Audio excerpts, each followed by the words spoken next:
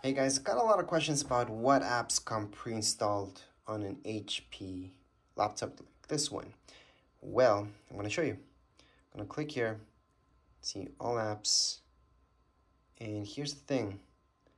Not all these apps are actually installed here, but a lot of them are. So let me just show you. If I go down, you guys will see everything that we get inside. Now, what I can tell you that we don't have in this computer, uh, we technically don't, is Microsoft Office. I did not sign up for it, but if you guys signed up for it, you have the subscription, you would be in here. If not, something like Word and all that, you have to pay for that. And that's it. Right now, you guys are going to see all this. So that's everything you get inside. That's all the apps that you guys get with this computer.